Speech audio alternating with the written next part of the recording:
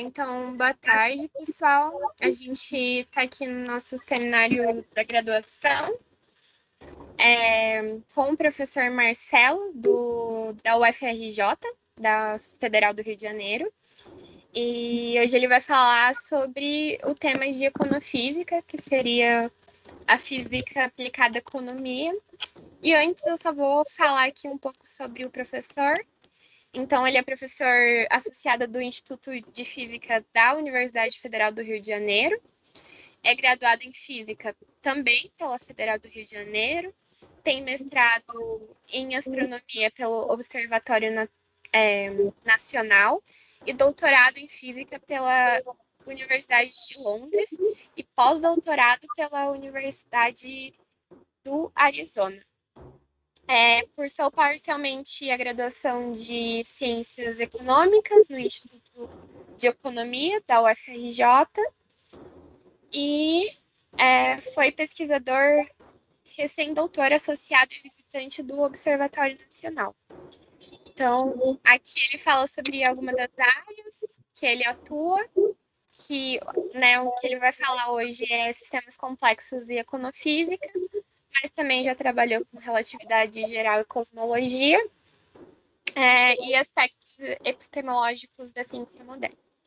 Então, agora eu deixo, passo a palavra para o professor, agradeço é, por ter aceitado é, falar para a gente sobre o tema e boa apresentação. Ok, obrigado, Carolina. E antes de mais nada, eu agradeço pela, pelo convite, é um prazer é, falar para vocês. Tá? E, bom, deixa eu compartilhar aqui minha tela para iniciar a minha apresentação. Ah.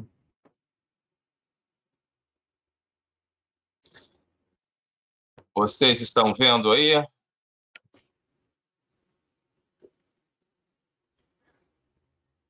Apareceu?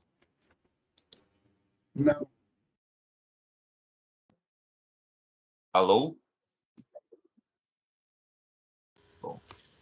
É, agora não tá funcionando, não. Talvez tentar descompartilhar e compartilhar de volta. Tá, então deixa eu cancelar e tentar novamente. Já tinha dado certo, agora vamos ver se volta a dar certo. É sempre assim. ah, vamos ver. Achei que era o único. E agora?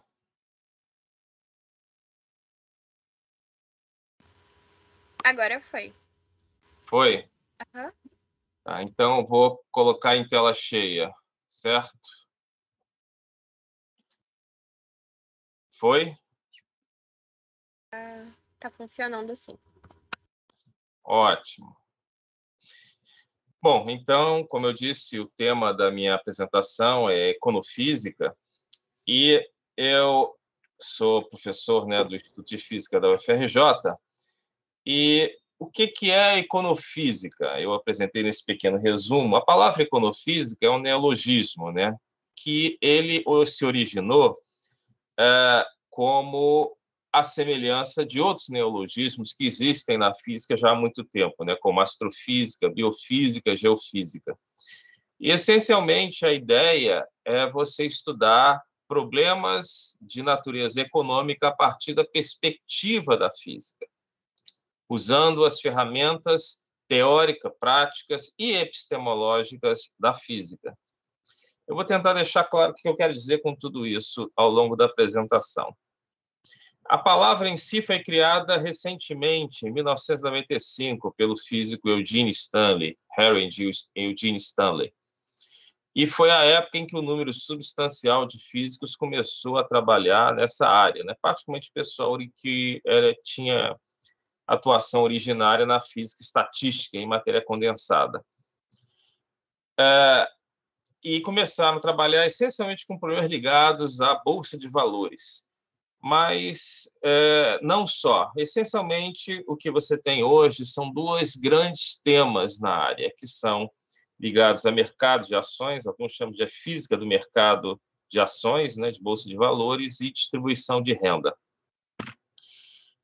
Mas, como eu disse, né, a, a palavra ela é de origem é, de Eugene Stanley e ele, ela foi endossada num livro que foi publicado em 1999 chamado Introduction to Econophysics, em coautoria com o pesquisador italiano Rosario Mantegna. Esse livro, inclusive, é muito famoso, ele já atingiu um número substancial de vendas, né? foi publicado pela Cambridge University Press, e ele, digamos assim, fundou a área como nós entendemos atualmente. E como o termo sugere, existe uma abordagem física para a economia, ou a economia pode estar baseada na física. E é, o que é pouco conhecido, no entanto, é que muito antes do aparecimento do termo já havia, de fato, uma que nós chamamos de fertilização cruzada entre essas duas áreas, né? a física e a economia, com a matemática no meio. E essa, essa interface, na realidade, é muito antiga. Existe um período que eu poderia chamar de um período pré-econofísica. Como é que é esse período? Vamos começar bem atrás com Thomas Hobbes. Thomas Hobbes como todos ou muitos já conhecem, ele escreveu um trabalho muito importante, sabe, no século XVII, é, chamado Leviatã. E nesse trabalho, o que o Hobbes procurou fazer foi deduzir pela lógica ou pela razão como a humanidade deveria governar-se a si mesma. É, ele se inspirou muito em Galileu, porque eles são contemporâneos, foram contemporâneos, né? A metodologia é o que hoje nós chamamos de física teórica, sabe? Ou seja, você estipula os primeiros princípios fundamentais sobre a natureza humana, de como as pessoas interagem e desenvolve até onde é possível. Ou seja, essa foi a ideia básica do Hobbes, lá no livro dele. E ele é, escreveu, né, sobre a natureza humana, as hipóteses fundamentais, né, em 1636, e viajou até Florença, onde ele se encontrou com Galileu. Então, já é algo bem antigo, né, o que essa tentativa de você olhar para o mundo econômico e humano do ponto de vista de primeiros princípios, que é como a física procura trabalhar. Tivemos depois um nome muito importante, que é Adam Smith. Adam Smith é considerado o pai da economia moderna, né? E ele se inspirou muito nos princípios de Newton. Isso é pouco conhecido, porque quando ele escreve o livro dele, né, sobre a riqueza das nações, em 1776, Adam Smith era escocês, ele usava a ideia de forças causais, que era uma ideia completamente nova na época, para você entender o problema econômico. É, curiosamente, o que o Adam Smith coloca nesse livro sobre a riqueza das nações é essencialmente uma dinâmica.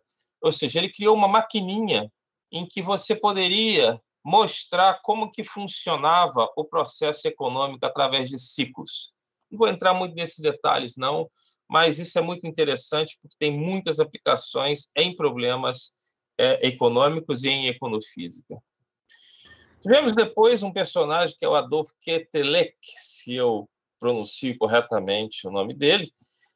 Ele estudou astronomia e publicou em 1835 um, um livro intitulado Um Estudo em Física Social. Olha onde é que ele estava querendo ir.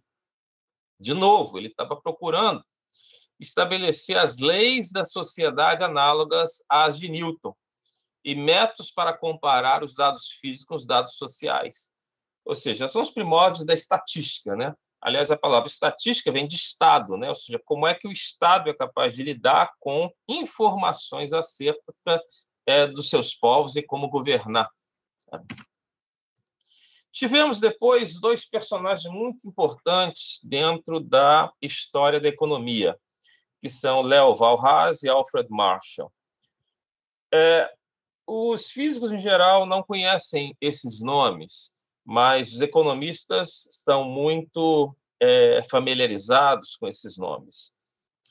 É, ele, ambos usaram ideias físicas de equilíbrio termodinâmico para estabelecer o que nós chamamos de os fundamentos da microeconomia. Você é, pode perceber, se você olha hoje para qualquer entrevista dos economistas, digamos assim, tradicionais, que eles vão falar em equilíbrio, equilíbrio do sistema, equilíbrio dos preços, equilíbrio da oferta. Todas essas ideias da microeconomia, tá? dos quais os economistas é, foram formados, estão baseadas na ideia de equilíbrio termodinâmico do século XIX. Eles é, procuraram ideias semelhantes à teoria de gás de Maxwell de Boltzmann. Por exemplo, a chamada teoria do equilíbrio geral de Walras, é, onde boa parte, se não a maior parte da teoria econômica neoclássica moderna se baseia, tem origem nas ideias da física. Tá? Quando eu chamo de teoria neoclássica, o que eu quero dizer com isso? Deixa eu falar um pouco do jargão aqui dos economistas, porque tem a primeira etapa do desenvolvimento da economia, que começa com Adam Smith e vai até Karl Marx, que a disciplina era chamada de economia política. A partir, após Marx, particularmente com Walras e Marshall, a disciplina muda de nome, passa a chamar de economia e não economia política, pura e simplesmente. E essa nova abordagem é chamada dos novos clássicos ou os neoclássicos. Ah, quando se fala dos clássicos, se pensa no período pré é, Valras e Marshall, ou seja, basicamente as pessoas estão pensando em Adam Smith até Marx.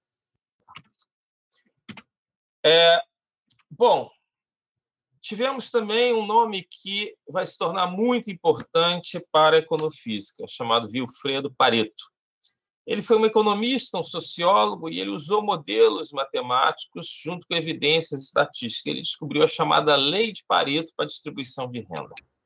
Essa Lei de Pareto é muitíssimo importante para nós hoje. Eu vou entrar em detalhes mais adiante. Tivemos um outro personagem que foi o Louis Bachelier. O Bachelier é, é uma dessas figuras que foi muito, muito pouco compreendido na época. Ele foi orientando de Poincaré e ele, no ano de 1900, ele escreveu na sua tese de doutorado, cujo título é Teoria da Especulação, ideias de física, sabe, e de é, caminho aleatório, o Brandon Walk, cinco anos antes de Einstein usar essas ideias, sabe?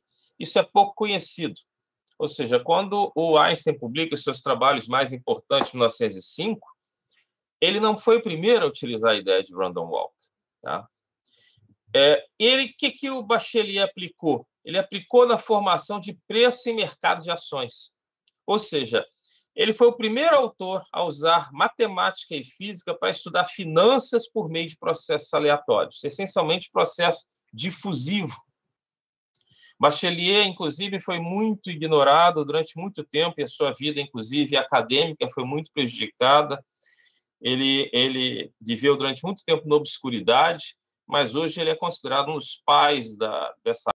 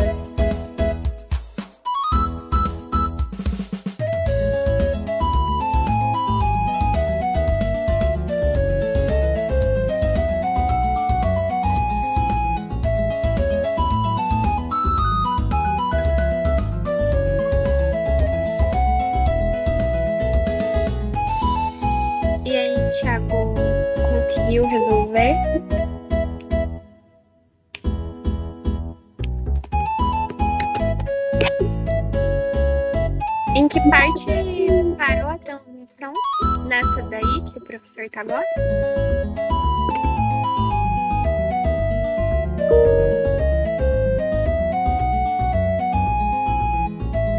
O senhor poderia voltar no anterior? Essa.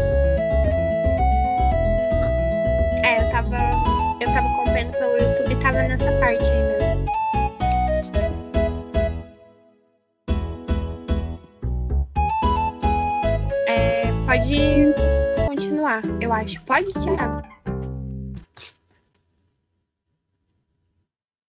Beleza. Bom, ok. Então, retomando, tivemos no período pré-econofísica o Pareto, Wilfredo Pareto, que foi um, um personagem muito importante. Ele descobriu a chamada Lei de Pareto, e eu estava falando do Bachelier, Louis Bachelier, que foi um orientando do Henri Poincaré, que escreveu em 1900 uma tese de doutorado intitulada A Teoria da Especulação.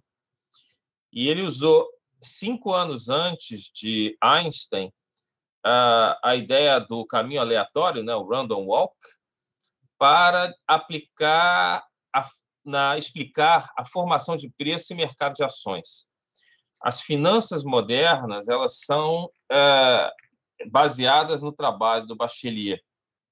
E ele foi historicamente o primeiro autor a usar matemática e física para estudar finanças, por meio de processos aleatórios de fusão e processos de fusão. Depois disso, tivemos o Mandelbrot, Benoit Mandelbrot, que ele, em 1963, ele usou as chamadas distribuição de cauda longa, ou seja, não gaussianas, em finanças e mostrou que fractalidade e autossimilaridade são comuns em finanças e variações de mercado, ou seja, no chamado mercado de câmbio, nas commodities. E foi ele, inclusive, que chamou muita atenção da chamada lei de Pareto, que é uma lei de potência, e que essa lei de potência não passa de um fractal, por causa da inclinação, e ele associa a inclinação, o chamado índice de Pareto, à dimensão fractal, ou seja, dimensão não inteira da distribuição. Então, o que, que eu posso então resumir a econofísica hoje? Ele é uma nova área interdisciplinar em que você usa conceitos e técnicas é, que são frequentemente utilizadas na física para problemas econômicos e financeiros. Tá? É, é muito utilizada a física estatística, mas não é, exclusivamente. Essa ideia de equilíbrio pode ser usada ou não, que é uma ideia muito, digamos assim, cara aos economistas, mas os físicos eles frequentemente abrem mão dessa ideia de equilíbrio. Então, variação de valores de ações, de ações e mercado de ações, etc. É, existe a questão da fractalidade, distribuição de Pareto, taxa de falência das empresas distribuídas como fractal, existem estudos nessa, nessa linha, e vários outros tópicos, tá? mas fundamentalmente utiliza metodologia, metodologia científica da física para descrever fenômenos de natureza econômica. E esse é um aspecto muito importante, dando forte ênfase aos dados empíricos. Por que, que eu falo forte ênfase em dados empíricos? Porque os economistas eles têm uma tradição diferente. Tá? É, alguns desses estudos já eram tratados pelos economistas, mas a ênfase que os físicos têm dado é distinta. Em que sentido? Eles têm criticado de forma bastante forte a teoria econômica subjacente, em particular a ideia de equilíbrio, tá? que é essencialmente aquilo que os economistas usam em suas análises, né? os economistas, digamos assim, mais tradicionais. E isso gera uma polêmica, obviamente. Tá? É, ainda mais porque é uma área muito recente. Os, muitos economistas têm, na prática, ignorado muito os trabalhos econofísicos outros nem tanto. Então, é uma situação polêmica. E, só para é, dizer, o que, que os físicos vão trazer de novo nesse processo? Primeiro aspecto é a visão fortemente empírica. Isso pode parecer algo um tanto quanto óbvio para um físico, sabe? Bom, claro que nós temos que trazer uma, uma, uma visão empírica do problema, mas isso, se vocês observarem, não é bem o que acontece com os economistas. Os físicos eles veem a matemática como um instrumento de descrição do mundo é. e não como um fim em si mesmo. Mas é, os economistas, em geral, são extremamente matemáticos, são axiomática do mundo. Sabe? É um negócio que já, já vê aí uma, uma certa é, diferença de como é que você aborda um problema, sabe? Então, um exemplo clássico que todo físico conhece são os axiomas da paralela de Euclides, a crítica às funções de distribuição proposta por Dirac, né? que os matemáticos achavam que aquilo era uma besteira, e o Dirac simplesmente ignorou os matemáticos, continuou fazendo aquilo que ele achava que tinha que ser feito e pronto. Sabe? É, existe uma, por parte dos economistas, uma insistência em continuar usando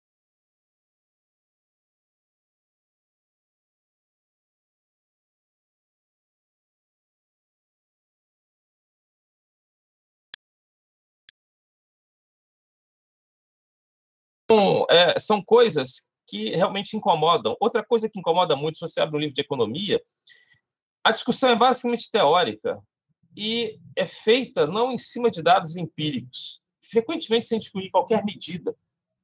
Aliás, é algo que chama atenção. O economista não faz análise dimensional dos seus problemas. Tá? Isso é algo que é estranho, para dizer o um mínimo, para um físico. Tá?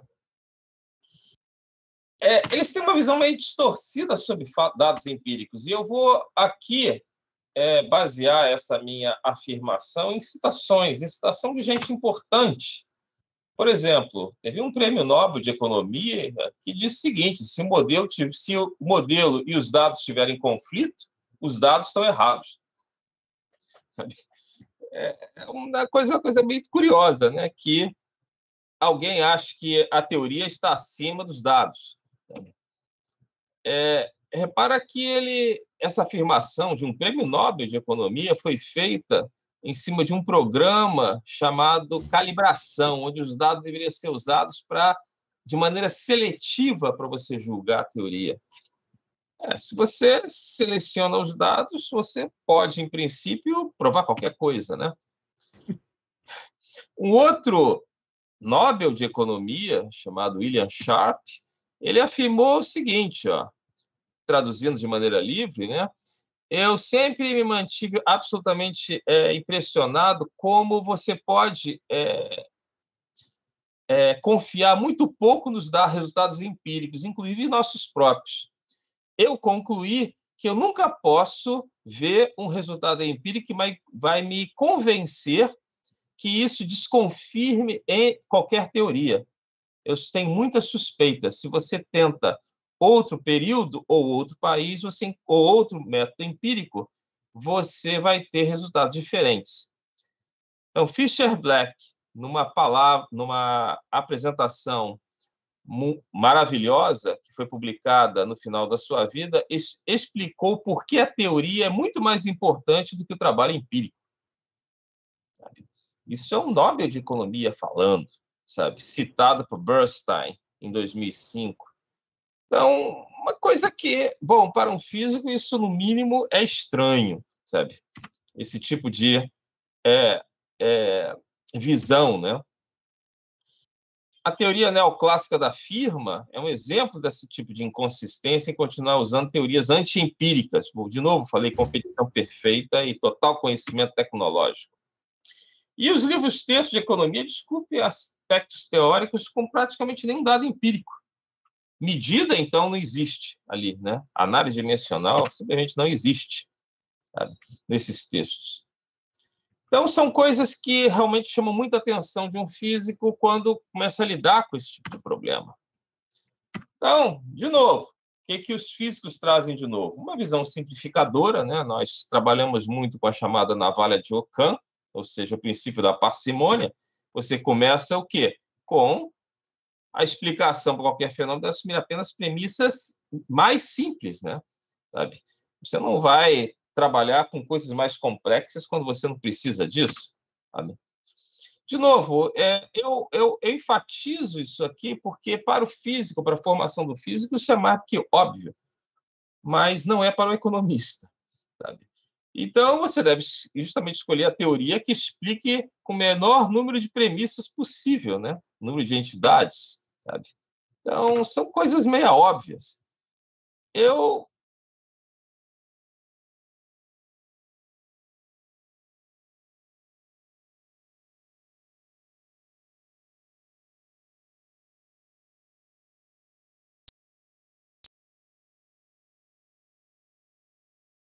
Com quatro parâmetros, você pode ajustar até um elefante, com cinco, você faz ele é, mexer com a tromba, sabe? Isso aí é uma, é uma, uma frase antiga de, de, se não me engano, John Neumann, sabe, citada pelo Enrico Fermi, né? É claro que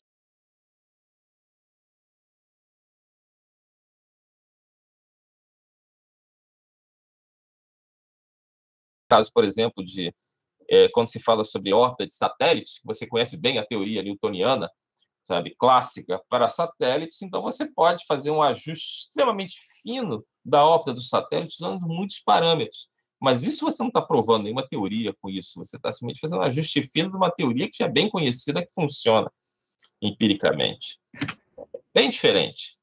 Então, só para mostrar para vocês que isso gera, obviamente, uma, uma controvérsia. E essa controvérsia chegou nas páginas da Nature, sabe? Por exemplo, em 2006, sabe? A Nature fez um editorial dizendo o seguinte: econofísicos importam, tá?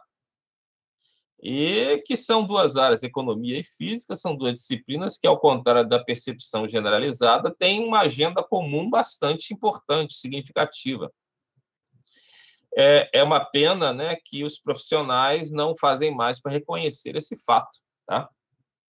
E repara aqui embaixo, que está em, em vermelho, né, a recusa do, do mainstream, né, do, da parte mais dos economistas, de é, interagirem com os econofísicos é algo a ser lamentado e faz com que seja mais difícil para os físicos aprenderem dos, a partir dos seus próprios erros.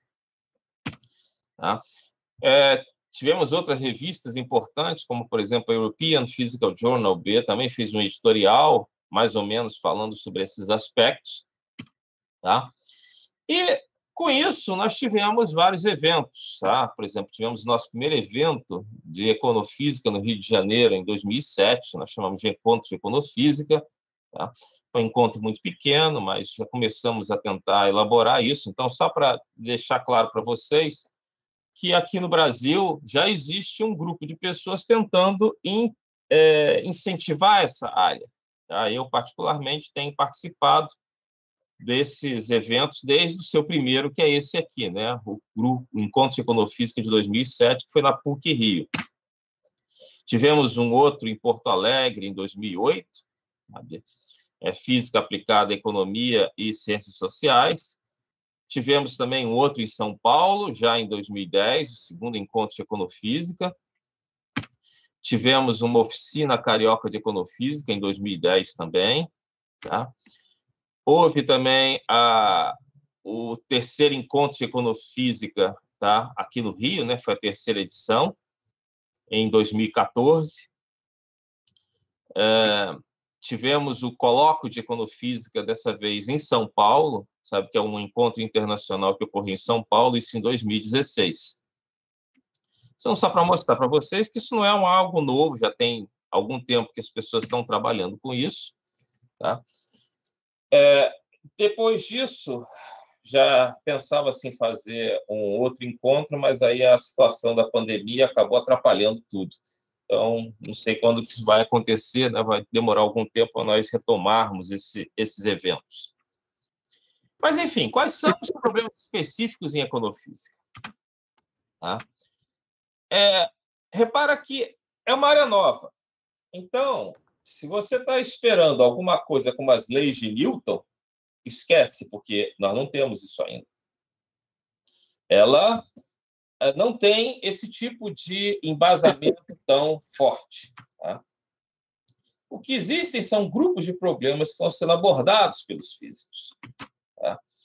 E o que eu vou fazer nas próximas transparências é para mostrar, sem esgotar, alguns desses problemas. E, repara, esses problemas são atacados de forma é, diferenciada, ou seja, com metodologias distintas, que às vezes são contraditórias entre si. Então, você não tem uma teoria. Essencialmente, o que você tem são modelos, sabe, que têm, obviamente, limitações na sua aplicabilidade, mas que pelo menos explicam parte dos processos que eles procuram estudar. Vamos começar com o movimento browniano. Todo mundo conhece, né? O movimento browniano foi descoberto em 1827 pelo Robert Brown, tá? que ele estudou grãos de pólen em suspensão na água e observa o movimento errático das partículas. Tá? Bom, o Einstein ele formulou e resolveu o problema, ele fez o tratamento estatístico né, em 1905, processo de fusão. Tá? Só que ele tratamento estatístico são movimentos sucessivos mutualmente independentes. E você tem, então, o que? A distribuição gaussiana para trabalhar com a melhor tipo distribuição para esse tipo de processo estocástico. Ou seja, estou falando aquilo que é o normal. Então, quando você tem um deslocamento quadrático médio, o que você tem, olha essa figura aqui, mostra claramente. Eu não sei se o meu cursor dá para vocês verem, sabe? Dá sim. Tá, então você vê aqui que o movimento que inicia nessa posição aqui zero, tá? É, aleatoriamente, você vai ter uma distribuição de probabilidade tipicamente gaussiana através do deslocamento quadrático médio. Isso aí, de novo, é bem conhecido, tá? De um físico. O problema é que não funciona com os dados reais. Por exemplo, se você é, pensar que a variação da, do Dow Jones, por exemplo, que é um mercado de ações muito importante nos Estados Unidos, seguisse o desvio padrão, ou seja, a distribuição gaussiana, o que você teria seria isso aqui embaixo, ó. ou seja, uma espécie de ruído branco. Tá? Mas o que você tem não é isso. Olha só. Você tem aqui, ó. Primeiro, a Grande Depressão, o crash de 1929. Ó, compare com a existência aqui de uma enorme variação. E você tem aqui ó, a Segunda Guerra Mundial, ó, a queda substancial e depois a recuperação. Isso não é previsto no modelo, usando a distribuição gaussiana. E temos aqui o crash de 87, Sabe? Claramente, algo completamente fora da previsão de uma distribuição gaussiana. Algo desse tipo, pela distribuição gaussiana, teria uma probabilidade de alguma coisa como 10 a menos 10, o que, obviamente, não é o caso. E esse gráfico aqui eu não fiz como que seria para o, a, a chamado a bolha de dot-com de 2000 e a crise mais recente de 2008 que é a crise de Lehman, Lehman Brothers, né, que faliram nos Estados Unidos. Então, se você olha para os dados reais e aquilo que uma distribuição gaussiana prevê, você vê um contraste assim absolutamente impressionante. Vamos pegar, por exemplo, o problema de variação de preço de mercado de ação. Isso aqui é um gráfico da série histórica da Ibovespa. O que você tem aqui é a variação do preço com o tempo. Repara que esse tipo de gráfico, você pode ter variações com intervalos de tempo, ou chamada binagem temporal, ou é, é, conforme você queira, com variação de segundo, de minuto, de hora, de dia, de semana, etc. Tá? Aqui ele está pegando essencialmente uma variação, se não me engano, por dia. E a pergunta que pode ser feita por diferentes tipos de análise são as seguintes. Primeiro é o seguinte: quais são os fatores responsáveis pela variação dos preços em curto e longo prazo? Você pode relacionar algum fator externo, como, por exemplo, algum fator político? Já o banqueiro, o investidor, vai perguntar o quê? Qual o risco? um investimento? Você tem como controlar esse risco? Qual a estratégia que você tem? Tá? Porque, repara, é, essa palavra risco é uma, é uma coisa curiosa, né? Na pesquisa em física, a palavra risco não existe praticamente. Mas em economia, risco é fundamental. Por quê? Porque o risco implica em você dizer alguma coisa sobre o futuro, mas o futuro é desconhecido. Então você fica numa situação muito complicada. Como é que você vai é, se arriscar em um determinado investimento se você não sabe se aquele teu investimento vai dar retorno? Olha, olha, olha a palavra, é, as palavras são muito importantes aqui.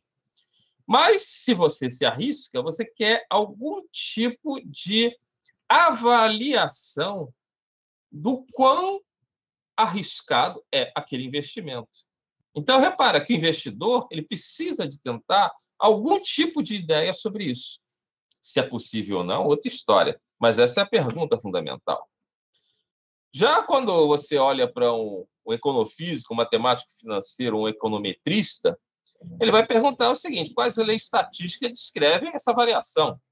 Qual a frequência dos saltos? É possível prever? Repara que cada um vai fazer um tipo de conjunto de perguntas que são perfeitamente legítimas, mas que, para a procura da resposta, você vai utilizar metodologias distintas. Como é que você vai tentar trabalhar isso do ponto de vista da econofísica? É o chamado retorno de preços em uma escala de tempo. O que é o retorno do preço? O retorno é a diferença entre dois valores de um índice separados com intervalo de tempo. Ou seja, você pega dois valores, faz, estabelece o intervalo de tempo que você está trabalhando naquela escala. Repara que eu falei que o índice de Ibovespa você pode ter desde segundo, minuto, hora, dia, semana ou até mês. O mais frequente é você considerar é, dia ou então é tipo assim a cada 12 horas. Sabe? Então você vai ter um intervalo de tempo. Então você pega esse intervalo de tempo e faz a diferença. Qual é a hipótese de distribuição dos retornos? O comum é você dizer que uma distribuição gaussiana. Por que, que é gaussiana? Porque todo mundo, quando vai falar em distribuição, pensa logo numa gaussiana. Sabe? É a coisa mais óbvia. Mas o problema é que os dados empíricos não corroboram essa hipótese. Olha só, como é que você vai fazer os retornos? Por exemplo, isso aqui é um gráfico do chamado SP500, ou seja, é a Bolsa de Valores dos Estados Unidos, em que trabalha com as 500 mais importantes empresas dos Estados Unidos, é o Standard Poor's 500, tá? É o índice, né? O retorno, então, é a diferença entre dois valores, tá? Olha só. Opa, desculpe, eu pulei aqui. Você vai pegar, então, dois valores aqui e vai procurar fazer o quê? A diferença entre eles, entre dois pontos. Tá? Essa é a ideia. Por exemplo, no caso do Ibovespa, tá? esse aqui, de novo, é o índice de Ibovespa. Repara que se você não fizer a normalização, como eu te disse, olha, você pode pegar os retornos da variação de preço em é, janelas de tempo muito diferenciadas, 60 minutos, 10 minutos, 1 minuto, e às vezes o pessoal vai até a base de segundo. Tá? Diga-se passagem, conseguir esses dados é muito caro. Não é, não, você não encontra esse tipo de dado facilmente, não. Quais são os retornos do Ibovespa? O que, que o pessoal trabalha? Trabalha com a chamada série de preços. Então, por exemplo, pega aqui SB500. Então, você pega um determinado intervalo ΔT e você pega o quê? A diferença entre o preço dentro desse intervalo ΔT. E você faz o quê? Em geral, você normaliza isso. Você pega o quê? O logaritmo neperiano entre ST mais ΔT com S de T ou seja, pega um determinado valor de tempo. Em geral, é o da base do intervalo, ou seja, T e ΔT. E com isso, você gera o que é chamada série de retornos, tá? que é simplesmente uma contazinha bastante simples que você faz em função dessa quantidade aqui. Que você pode fazer, obviamente, com qualquer tipo de variação de mercado de ações. São chamados retornos é uma determinada escala temporal ΔT. Bom, o ponto é que você, se você pegar esses retornos e fizer a probabilidade dos valores, você não vai encontrar exatamente uma gaussiana. Tá? Olha só. Se você tivesse uma gaussiana nesses retornos, eles deveriam ter este formato dado por essa linha pontilhada aqui.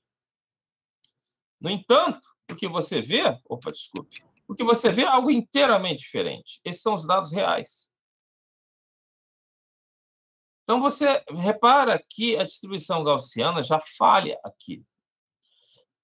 Então a pergunta que você se coloca é qual é a distribuição que vai é, trabalhar com esses retornos aqui. Isso tem, e mais, isso vai depender do tipo de intervalo temporal. É o chamado colapso de dados de retornos. Tá? Se você tem valores, entendeu, com aqui um minuto, dois minutos, três minutos, cinco, dez e trinta, você tem uma variação muito grande, olha, isso. O desvio padrão da distribuição que acontece e os retornos normalizados. As contagens se tornam distintas e tendem, em alguns casos, a se é, serem equivalentes. Tá? Então, você repara que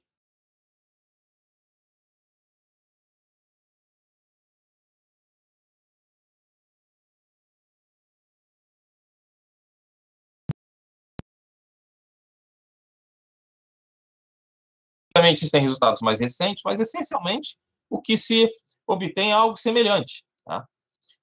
Você pode é, trabalhar com essas distribuições, é, ou, desculpa, outras distribuições que se ajustam melhores. Por exemplo, você tem a chamada distribuição de Levy, tá?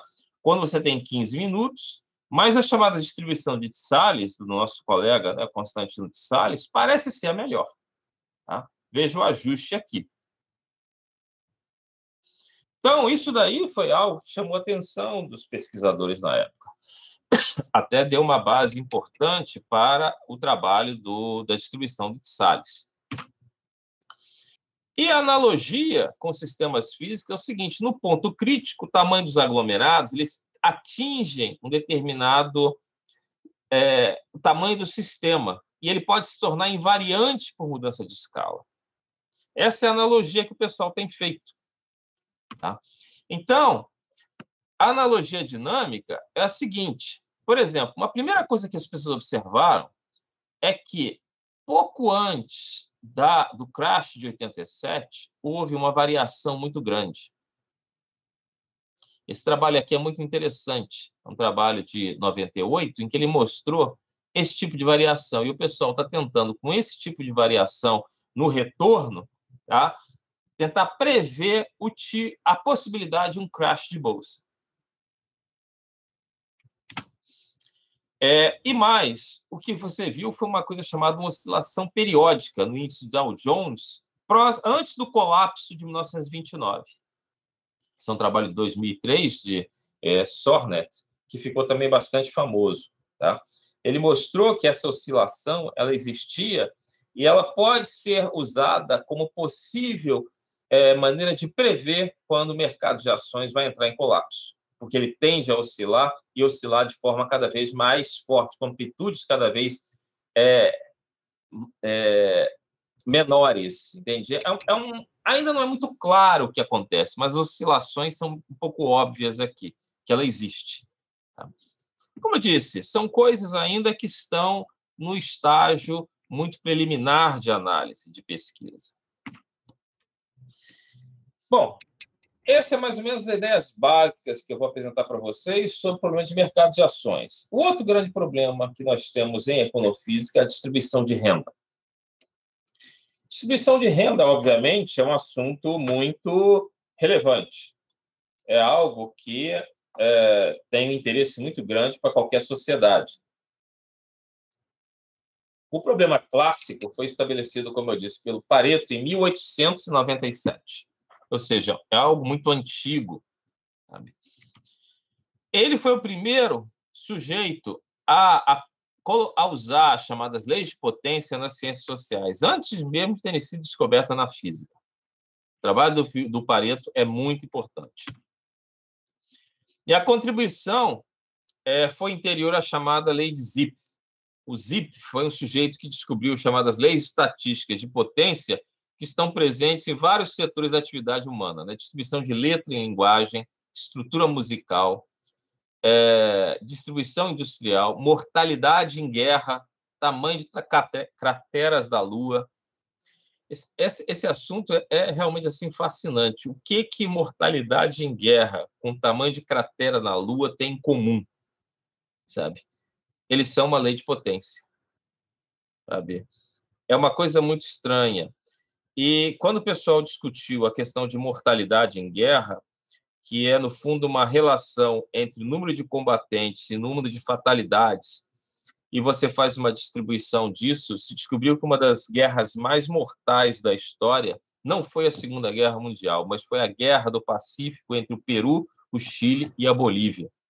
A guerra foi extremamente mortífera, porque o número de baixas entre aqueles que estavam envolvidos no conflito foi muito maior do que até mesmo a Segunda Guerra Mundial. Acredite se quiser. Isso é uma, foi uma surpresa quando o pessoal começou a trabalhar com isso. Mas voltando ao Pareto.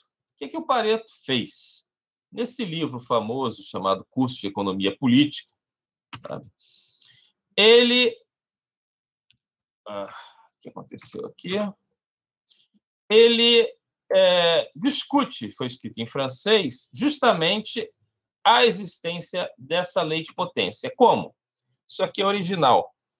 Ele mostrou que você pode fazer uma relação entre a renda e o percentual de pessoas que recebem aquele valor ou acima. Então, se você começar com valor zero, todo mundo recebe zero ou acima em termos de renda. E à medida que você vai aumentando, o número de pessoas que recebem um determinado valor de renda vai decaindo. E ele fez uma análise empírica. Sabe? Ele verificou que essa distribuição obedece uma lei de potência com essa, essa forma, ou seja, você tem dois parâmetros aqui e tem o índice, tá? ou seja, você tem aqui uma normalização e você tem aqui um índice da lei de potência. E o mais interessante é que esse índice, ou a inclinação, se você fizer, obviamente, aqui um logaritmo disso, a inclinação ela tende a ser relativamente num valor próximo. Repara que ele fez aqui, olha, no livro dele, ele já pegou a inclinação dessa da lei de potência para vários países na época dele, olha, a Inglaterra 1843, no período de 1879 1880, a Prússia, Saxônia, Florença, etc e você repara aqui os valores que ele obteve na época. Mas, um ponto importante, isso foi válido para as pessoas mais ricas. O Pareto, na época, não tinha acesso à população de modo geral, ou à distribuição, à renda da população de modo geral. Então, ele só teve acesso às pessoas mais ricas, e ele obteve que as pessoas mais ricas tem uma distribuição de renda de acordo com a chamada lei de potência, que ficou conhecida como lei de Pareto. E esse alfa aqui é conhecido como índice de Pareto. Então, de novo, 1897. Ou seja, não estamos falando de um trabalho de hoje, não. Tá? Pelo contrário. Hoje, por exemplo, esse aqui é um caso típico da Grã-Bretanha em 1996. Agora, o pessoal já está fazendo não só com a parte rica da população, mas com toda a população. E o que você vê, na realidade, são dois regimes.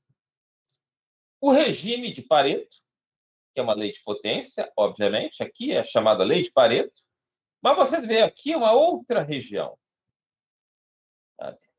Essa outra região é que é a questão qual é a distribuição da maior parte dessa população. Repara o seguinte: Quando você vai olhar para o percentual de pessoas da população que tem uma distribuição de renda que obedece uma, uma lei de Pareto, ou seja, esse pedaço aqui, esse pedaço aqui é 1% da população. E esse pedaço aqui é 99% da população. Tá? Repara que aquilo ali é uma distribuição cumulativa, um percentual cumulativo. Ou seja, o que, que você faz? Quem recebe 10 ou acima. Então, repara que quem recebe até zero ou acima dá 100%, mas já quem recebe 10 nessa, nessa, ou seja, milhares de libras ou acima, já começa a decair. Tá? Essa é uma maneira mais comum de apresentar esse tipo de resultados. Você pode falar em número de famílias também. Tá? No caso, isso aqui foi feito pelo colega Iglesias, da Federal do Rio Grande do Sul, em que ele trabalhou aqui com números de famílias. Mas, de novo, você repara tá? que você tem aqui, olha, uma lei de potência. E aqui ele ajustou já uma gaussiana, no caso brasileiro. Isso aí é muito disputado os resultados. Por exemplo, se você olha aqui, você vê uma grande dispersão na cauda. Essa grande dispersão na cauda está relacionada ao quê? À medida que você vai chegando no extremo, o que você vai ter é cada vez um número menor de pessoas. Isso gera uma flutuação muito grande. Sabe? Uma maneira de você reduzir essa dispersão aqui é você ampliar o seu intervalo que você está fazendo a análise. Aqui, é, o, o, o Iglesias ele não ampliou, então isso gerou uma dispersão grande. Mas você pode reduzir essa dispersão sem afetar a existência de uma lei de potência. Tá? Isso é um, aspecto técnico. Mas, por exemplo, esse aqui foi um trabalho que eu fiz com um colega tá, do IBGE, tá, chamado Newton Moura, que, aliás, ele colaborou muito comigo nesse assunto e, infelizmente, foi uma das vítimas da Covid. Ele faleceu no início desse ano, vítima da Covid. Uma perda muito grande para o grupo. Então, deixo aqui meu tributo ao Newton Moura. Mas esse trabalho nós fizemos é, olhando para várias distribuições de renda, pegando a PNAD brasileira. Essa é a distribuição cumulativa.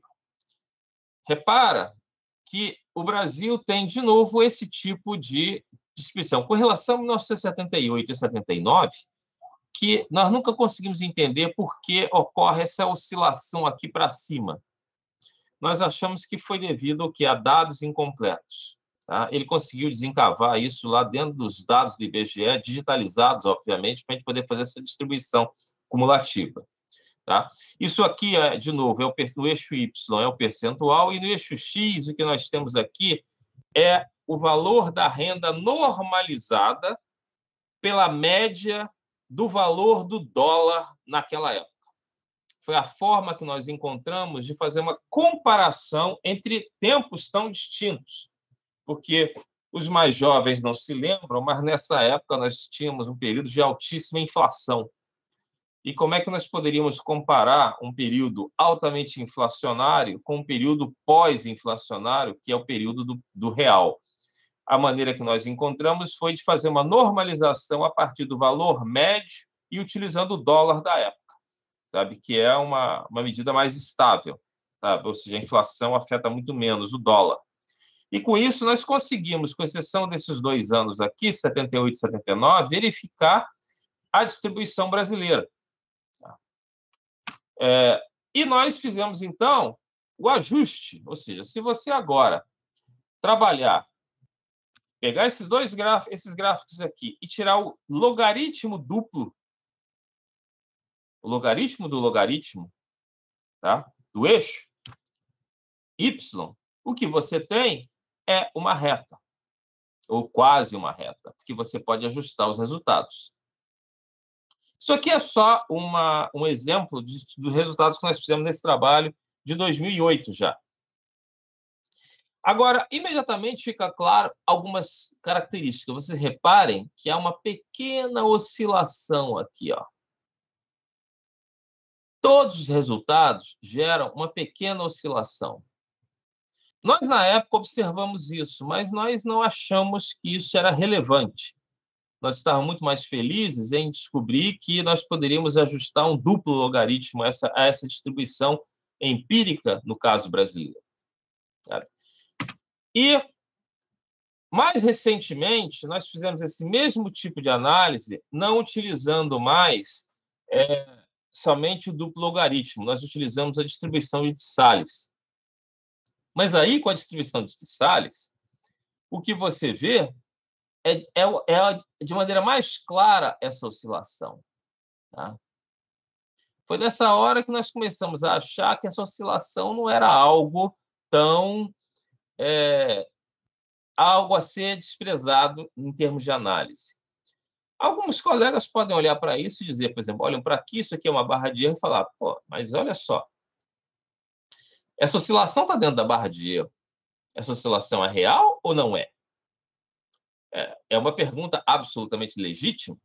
Alguns podem chegar e dizer o seguinte: essa oscilação não tem significado nenhum, porque justamente está dentro da barra de erro.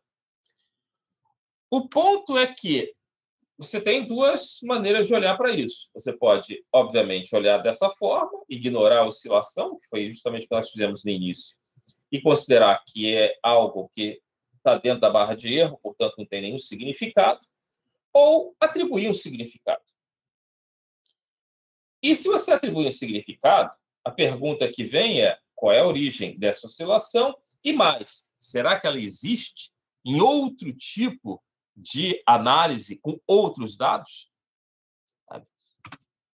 Aí, olha, nós vamos começar a olhar para outros autores. Por exemplo, o Dragulesco e Yakovenko foram dois, duas pessoas, particularmente o Yakovenko, que fez trabalhos muito importantes, eles pegaram os dados americanos. E, de novo, você observa que o tipo de distribuição é muito semelhante. Ó, começa de modo cumulativo. Começa com uma curva e depois ele tende a uma reta. Aqui é a região de Pareto. E aqui é a outra região. No caso dos Estados Unidos e do Reino Unido, Tá? Repara que são dados mais recentes aqui, mais completos. Esses dados foram todos atualizados. Saiu, inclusive, recentemente um trabalho do Yakovenko, saiu agora, esse ano. Eu não estou colocando aqui porque ele não trouxe realmente nada de novo. Ele atualizou os dados, mas é basicamente a mesma coisa.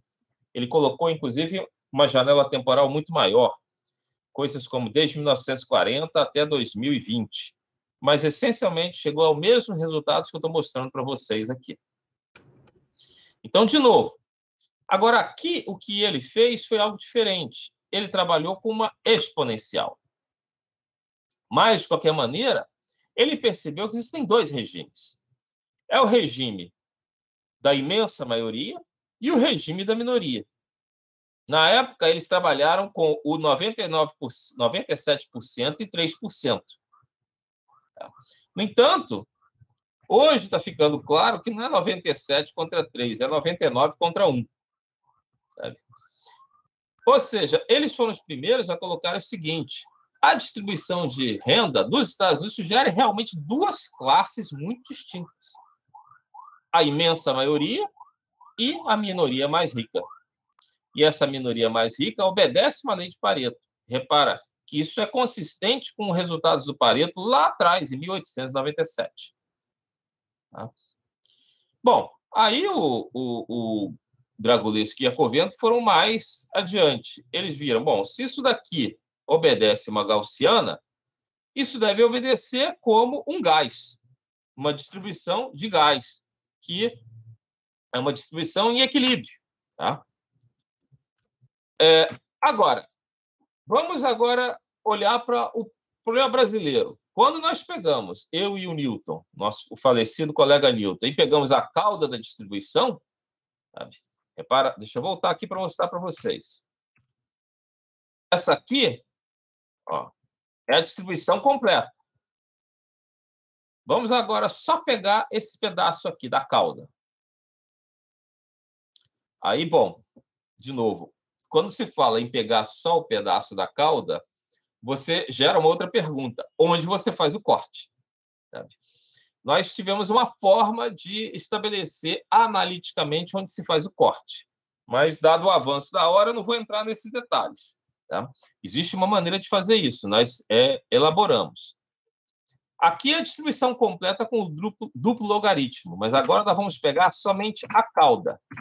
E na cauda brasileira, você vê de novo uma distribuição de lei de potência para 1% da população.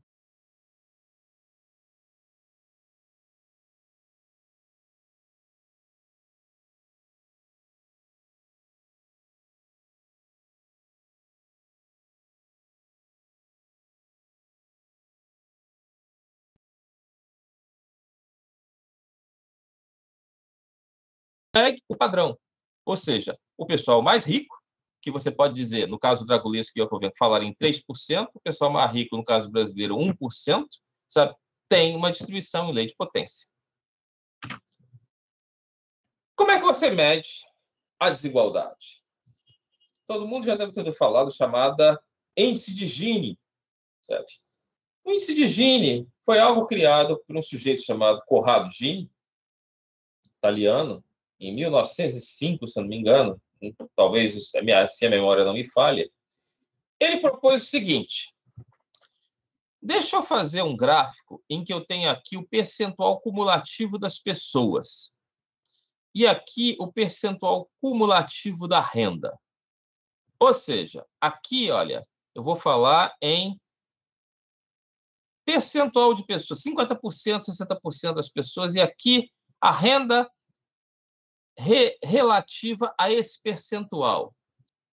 Então, por exemplo, vamos pegar esse ponto aqui, ó. Tá? Esse ponto aqui significa que 50% das pessoas, que é mais ou menos no meio do gráfico do eixo é, X, ganham aproximadamente o quê? 25% da renda total. Isso é a chamada curva de Lorenz. A curva de Lorenz essencialmente estabelece isso. Qual é a maneira como você verifica o percentual de pessoas em função do percentual de renda dessas pessoas. Tá? E a partir daí, você pode criar o chamado índice de Gini. Por quê? Repara, essa reta aqui ó, é a chamada reta da igualdade perfeita. Por quê?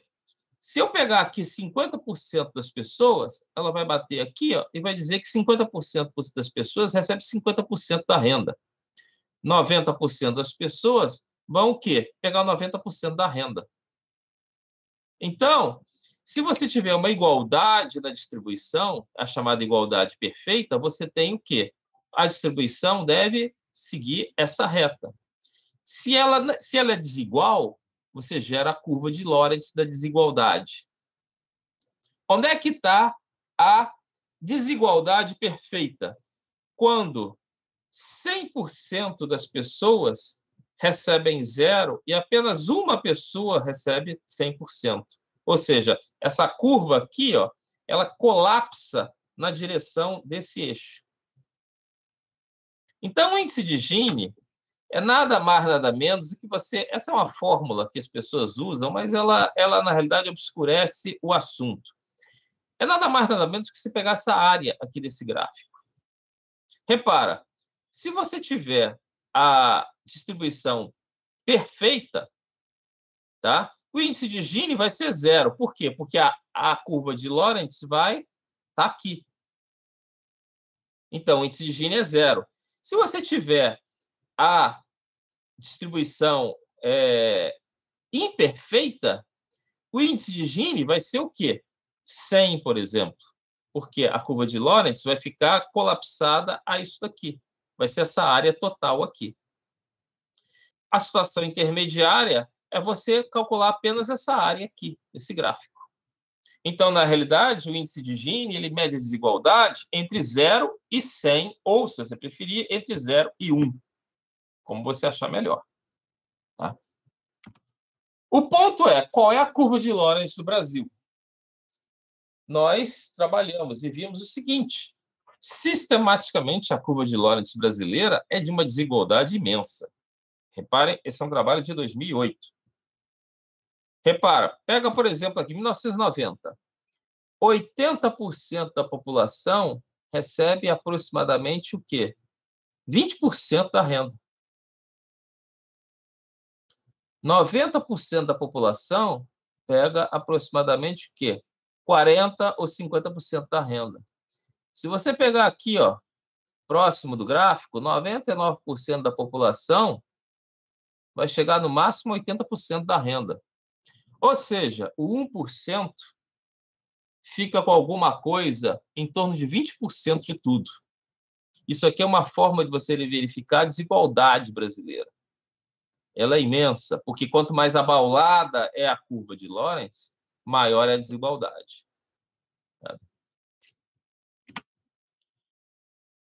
Bom, repara que você pode discutir a distribuição de lei de potência não só com um problema de distribuição de renda, você pode trabalhar com tamanho de firmas. Tá?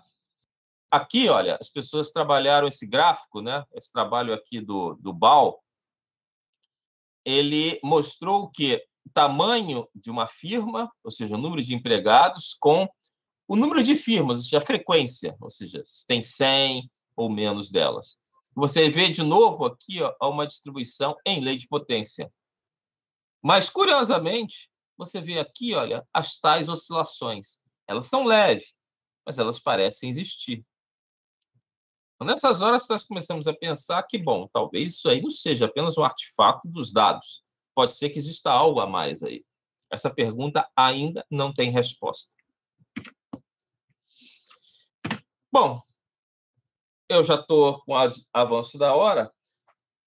Quais são os outros problemas que podem ser estudados pela econofísica atualmente?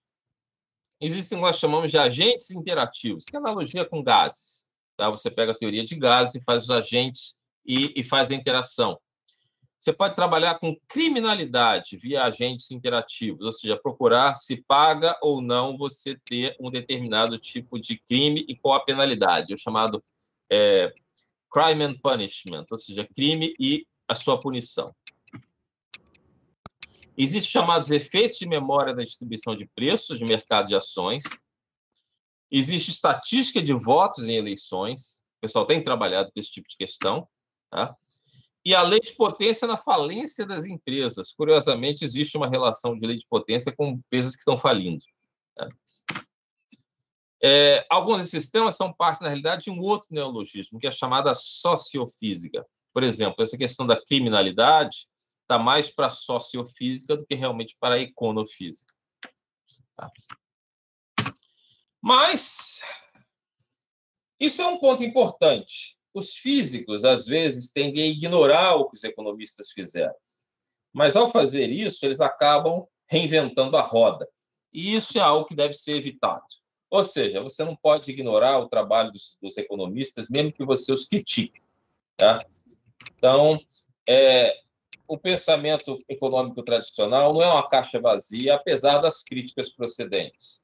E eu falo isso, inclusive, com conhecimento de causa, porque eu, em determinado momento, vi que era necessário que eu estudasse economia mesmo. Tanto que eu fui para é, o Instituto de Economia da UFRJ para aprender economia, sabe? porque não dava para trabalhar em econofísica sem saber alguma economia. Tá? Então, é necessário estudar alguma coisa, alguma teoria econômica tradicional. Tá? E repara que essa crítica já está é, é, antiga, tá? de que a maioria dos físicos não digeriu a sutileza do pensamento econômico e não conseguiram associar suas ideias e técnicas ao mainstream da pesquisa feita em economia. Tá? Então, é algo que eu chamo a atenção daqueles que queiram seguir essa área. Algum conhecimento de economia é fundamental. Tá? E eu quero fazer finalizar com uma propaganda. Tá? Eu escrevi recentemente um livro, sabe, que foi publicado pela Cambridge University Press, justamente sobre essa questão, sabe, de distribuição de renda. O livro saiu ano passado, foi justamente no início da pandemia, então ele não teve uma divulgação mais ampla. Tá? Então, publicado em abril de 2020, tá? pela Cambridge University Press, tá? onde eu faço um apanhado geral de todas essas teorias na questão relacionada à distribuição de renda do ponto de vista da econofísica. Obrigado. Obrigada, professor, pela apresentação. Foi muito interessante. Então, agora eu vou passar para as perguntas aqui. É, o Daniel né, fez um comentário falando que escolher seletivamente dados é extremamente contrário de uma pesquisa de base amostral equiprovável. É, e o João Las tem algumas perguntas aqui. É, então, quem quiser fazer pergunta, pode ir mandando aí no chat. E eu vou passar do João agora. É, ele fez três perguntas, então eu vou falando uma de cada vez, para ficar um pouco mais fácil. É, ele falou assim: é certo dizer que quanto maior a população de um país, se este país segue a distribuição de renda, então maior a desigualdade de renda no país? É, obrigado pela pergunta. Não existe relação com o tamanho, sabe? O que nós vemos dentro dos dados é que existe uma tendência àquele mesmo tipo de distribuição, é, como eu te disse, uma parte, a cauda é paretiana, e a parte da maior parte da população, do ponto de, ponto de vista estatístico, aí você tem várias funções. Por exemplo, no caso brasileiro, nós propusemos uma função de Gompertz, que na realidade é uma dupla exponencial. No caso dos Estados Unidos, Yakovenko propôs uma exponencial. No caso de outros países, já se propôs outras distribuições, como, por exemplo, a, a, a gaussiana, não, a, é a gaussiana, a log normal, desculpe a log normal. E por aí vai, entre as distribuições simples. Mas você não tem uma conexão com o tamanho da população. Curiosamente, o que se sabe, por exemplo, vamos pegar um país que tem tido muita. É, como é que eu vou dizer? Enfatizado ultimamente, a China. Os estudos com a China mostravam, mostraram que a distribuição de renda na China depois do grande desenvolvimento econômico que a China teve, passou a ter algo desse tipo. Ou seja, passou a gerar uma cauda de Pareto também. Então, a resposta é: não há uma relação com o tamanho da população. Aparentemente, isso é uma característica do processo de desenvolvimento econômico. E mais, existem estudos que foram feitos a nível arqueológico que é, tentaram ver qual era a distribuição de renda no Império Romano, sabe, baseado, por exemplo, em dados arqueológicos, em dados da época. Claro que isso é uma coisa ainda muito incerta, mas os resultados foram de que a lei de potência estava lá também, naquela época.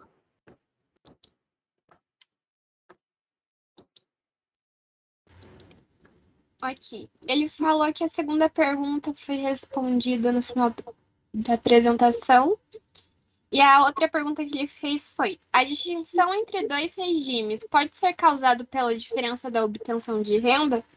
Por exemplo, trabalho assalariado versus dividendos. Essa é uma pergunta extremamente importante. Ao que tudo indica, a resposta é sim. Por quê? É, quando você tem um trabalho assalariado, você tende a ter a chamado retorno a partir do que do seu trabalho, do salário. Já quando você tem um dividendos, você tem um retorno baseado que naquilo que você é, tem da sua riqueza. É, você existe o trabalho famoso do Thomas Piketty, Capital do século 21, em que ele discute extensivamente exatamente essa questão. E ele mostra claramente que você tem dois tipos de, é, de renda. Uma delas é a renda relacionada ao salário e outra renda a dividendos, ou seja, a sua propriedade, a sua riqueza. E não são as mesmas pessoas. Sabe? E alguns trabalhos posteriores estão indicando exatamente isso que aquela cauda de Pareto é porque as pessoas ali basicamente têm o que um ganho substancial em cima de dividendos do seu, ou seja, a partir da sua riqueza. enquanto que os 99% são o quê? Assalariados. Então, a resposta à sua pergunta é: as recentes pesquisas, particularmente a partir do trabalho do Thomas Piketty, indicam que sim, que deve haver exatamente essa divisão. Ok. É, o Orlando falou: obrigada, professor, excelente seminário. O Daniel falou: obrigada pela palestra, professor, foi muito bom. Fiquei curioso se tem alguma iniciação científica na UFPR. É, acredito que na física não conheço nenhum professor que trabalhe nessa área. É, e qual a recomendação do professor para quem pensa em estudar a área e talvez se formar nela? Olha, do ponto de vista de graduação aqui no Brasil, os nossos cursos de física eles tendem a ter um currículo mais ou menos semelhante, que está muito voltado para a física teórica. Essa é a base do nosso desenvolvimento da física. Claro que os colegas têm procurado enfatizar algumas áreas mais aplicadas, mas a base tem sido isso. A econofísica é uma área muito nova. Então, o que você tem, você pode se formar nesse assunto, por ser uma área muito nova, as pós-graduações tradicionais que existem no Brasil não oferecem a área de econofísica. Justamente pensando nisso, é que a proposta do programa de pós-graduação multidisciplinar, multidisciplinar em Física Aplicada do Instituto de Física da Federal do Rio de Janeiro, onde eu trabalho, é que nós propusemos uma visão separada, e lá existe econofísica, a nível de mestrado. Essa é o único local que eu conheço. Desculpe estar fazendo propaganda aqui do meu próprio programa, sabe? Mas é onde eu conheço. Eu sei que uh, existe algum tipo de trabalho nesse sentido a nível de pós-graduação no Centro Brasileiro de Pesquisas Físicas, aqui também do Rio de Janeiro. É, na PUC Rio também existia alguma coisa nesse sentido, mas infelizmente a colega que trabalhava muito nesse, nesse assunto também não está mais lá, ela faleceu também, não de Covid, mas já tem algum tempo. E é, eu sei que tem algumas pessoas que trabalham com o assunto em Pernambuco, na Federal de Pernambuco, em Recife. Agora, eu não sei dizer se eles oferecem iniciação científica, presumo que sim, ou alguma pós-graduação. Eu sei também que a Federal de Minas Gerais começou a oferecer uma pós-graduação em física aplicada, mas eu não tenho informações se a econofísica faz parte dela. Até onde eu sei, eu não conheço nenhum pesquisador em Belo Horizonte que trabalhe com isso. É, em Brasília, existem alguns colegas trabalhando com isso, mas mais na área da economia. Eu não sei se a abordagem da física exista na UNB, são colegas da UNB. Esse é mais ou menos o que eu sei. Ah, bom, temos o colega Iglesias, né, que ele era da Federal do Rio Grande do Sul, mas ele está atualmente numa outra universidade, que eu confesso não me lembrar o nome, mas também em Porto Alegre. Mas ele trabalha mais com a sociofísica. Mas, como disse, sociofísica está muito relacionada à área de econofísica. Então, ele seria uma pessoa a ser procurada aí na região sul do Brasil.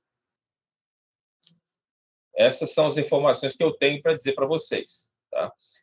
E aqui no Rio, né, no nosso programa de pós-graduação. A nível de iniciação científica, aí você teria que procurar um professor que trabalhe, pelo menos um pouco com isso, para poder é, fazer uma iniciação, iniciação científica com ele ou ela. É, sobre a iniciação científica, acho que sempre tem como conversar com os professores, né? Geralmente os professores são bem solícitos, então se você não achar aqui, você pode conversar com o professor Marcelo ou com outros que ele comentou durante a apresentação ou pesquisando. E também é possível, até onde eu sei, né, sempre falam que é possível fazer iniciação científica em outra instituição, então não seria um grande problema. É, ele fez outra pergunta que é assim: Você acredita que a taxação de grandes fortunas é um método realmente praticável do ponto de vista social? para diminuir aquele coeficiente de desigualdade? Essa é uma pergunta difícil.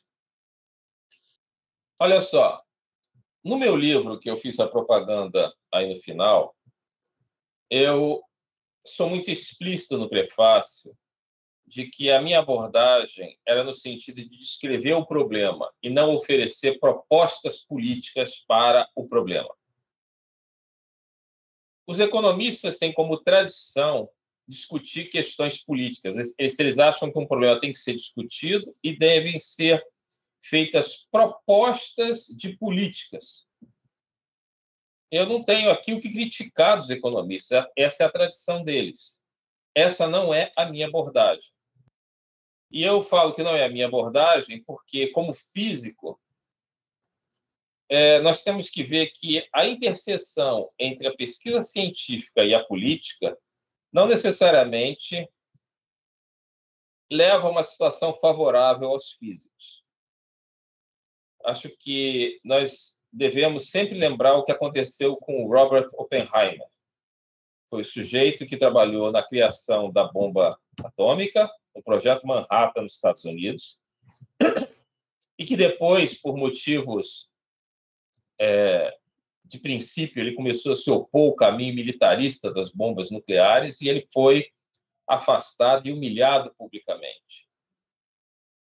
É, entre outros motivos, porque ele se envolveu naquilo do qual ele não era especialista. Então, eu procuro sempre não discutir propostas de como diminuir a desigualdade. É, no livro Thomas Piketty, é dividido em quatro partes. A última parte é justamente isso. Eu tenho, eu presumo que o, o, a pergunta tenha sido originada justamente em função da proposta dele. Ele propõe isso, taxação das grandes fortunas. Eu não tenho uma opinião clara sobre isso. E, para ser franco, eu procuro não emitir opinião sobre isso. Tá? É um assunto que envolve uma questão de como resolver o problema e que envolve uma questão política. Eu, particularmente, é, tenho minhas dúvidas, mas prefiro não responder a pergunta, tá? deixando claro isso. Ok. Temos outra pergunta do João Laz. Ele falou assim: você sabe dizer se foi verificado algum tipo de distribuição semelhante a essas em países socialistas? Não de renda, naturalmente, mas talvez na produção ou ao cúmulo de poder burocrático? Olha, o, os dados são poucos nesses países ditos socialistas. Né? Como eu disse, estão começando a emergir alguns resultados sobre a China que mostram que a desigualdade na China está aumentando. Agora, quando você fala em desigualdade, você tem que tomar um certo cuidado. Você tem que discutir o nível da desigualdade. Se você sai do índice de Gini, por exemplo, é, 0,2 e vai para 0,3, hipoteticamente, você aumentou a desigualdade. Mas isso é muito longe, por exemplo, da situação brasileira, onde o nosso índice de Gini é tipo 0,6 ou 0,7. Tá? Então, falar que você aumentou a desigualdade não significa que você tenha uma imensa maioria de miseráveis e um pequeno grupo de milionários. Tá? Você tem que tomar um certo cuidado. Então, o que eu sei é que existe essa, esse estudo na China, sabe? que está aumento da desigualdade. Não sei dizer para você de cabeça qual é o, os, quais são os números. Sabe? São muito poucos estudos. É, eu não conheço nenhum estudo sobre a Rússia. Não conheço nenhum estudo sobre Cuba. Coreia do Norte, muito menos. Isso só para dar um exemplo de, de países que nós poderíamos chamar de socialistas, embora hoje essa palavra tenha ficado com um significado um pouco mais é, difícil né, de você é, classificar. A China é de fato socialista? Em que sentido você pode definir a palavra socialismo em função do que é a China hoje, ou a Rússia? Entendi. É...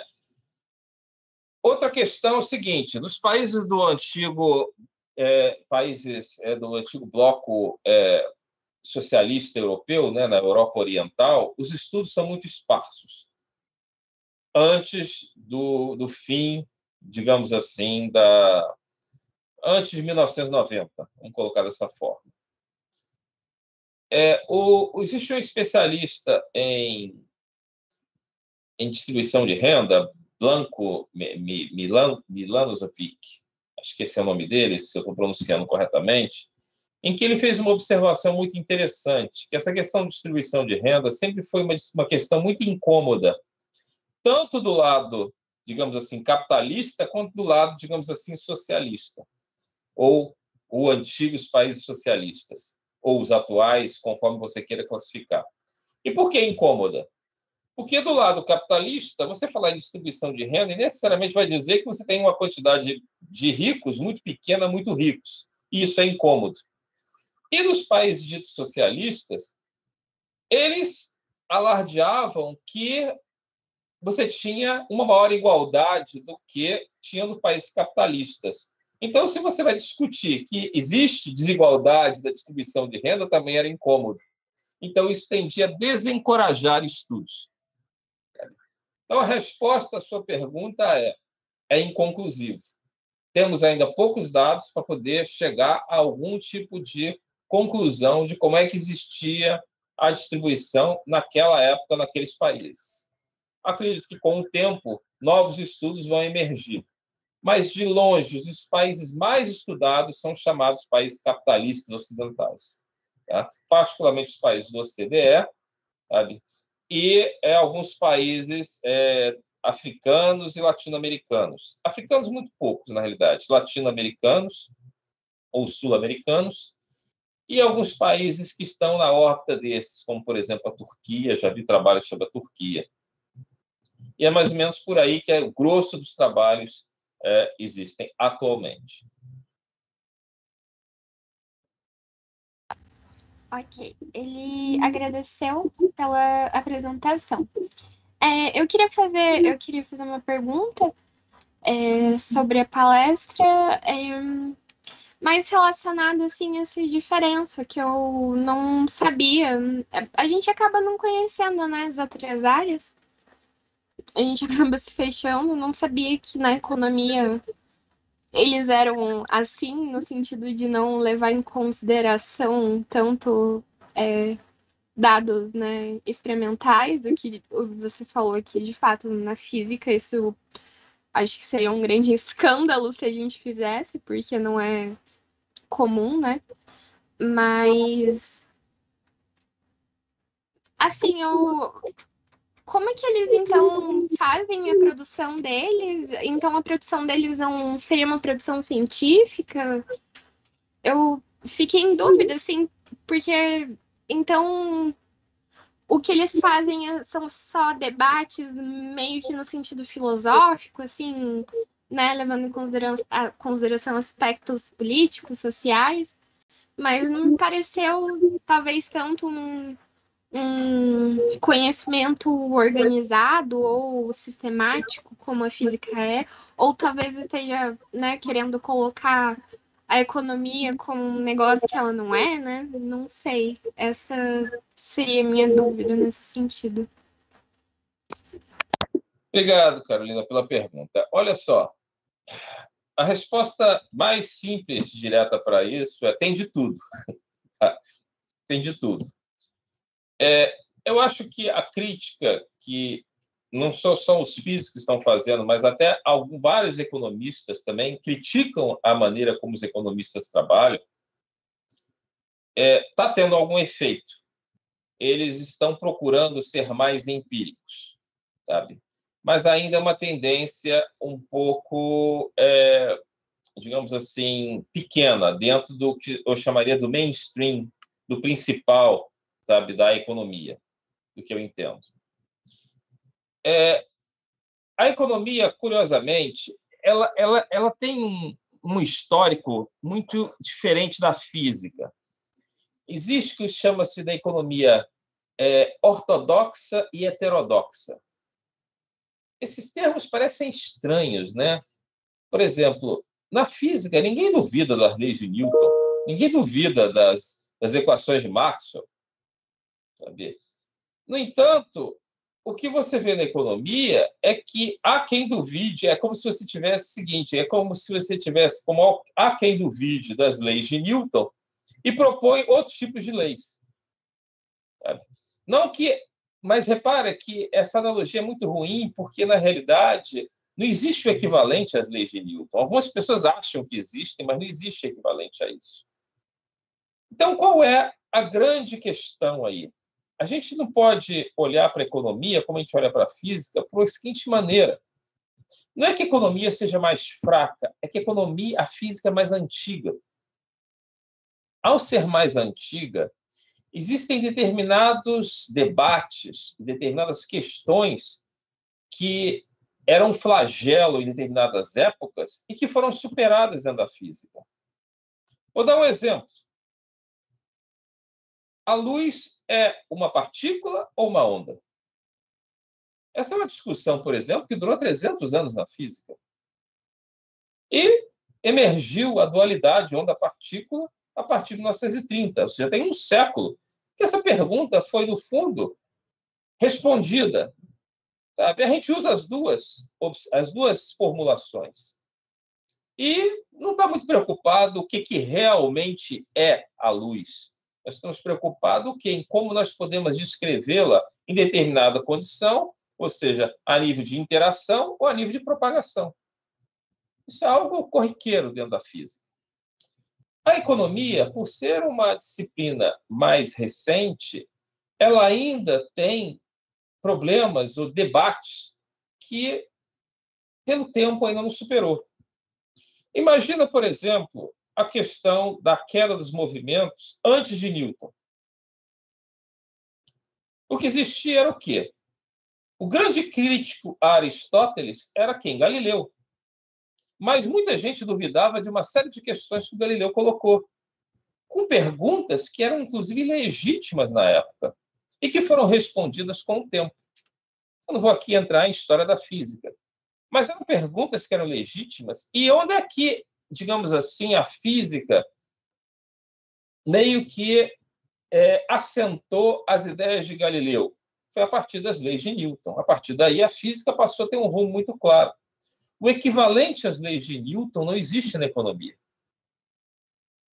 Além do que, existe um outro problema. Quando você fala de questões que envolvem os seres humanos e o seu ganho pessoal, porque está falando de economia, está falando de riqueza, está falando de distribuição de renda, a política está muito próxima do assunto. E se você, é, se as leis de Newton fossem é, afirmações que as pessoas, é, digamos assim, em que incomodasse os interesses de algumas pessoas, ia ter gente querendo o quê? Dizer que elas não são válidas. Sabe? Então, determinadas afirmações em economia, elas acabam caindo numa controvérsia muito grande, porque a política se, se intromete no meio.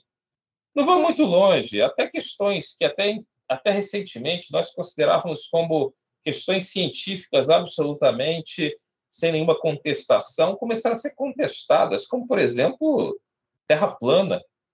Nós vemos gente defendendo que a Terra é plana. Meu Deus do céu, isso em pleno século XXI, sabe? Então, você repara, e se isso acontece dentro da física ou em questões como essas, imagina na economia. Então, o que eu posso responder para você é: existe de tudo. Existe gente que ignora a parte empírica, existe gente que não ignora faz trabalhos muito sérios e muito interessantes, sabe? Existe gente que faz um trabalho pela metade, faz só o trabalho teórico e tenta propor políticas.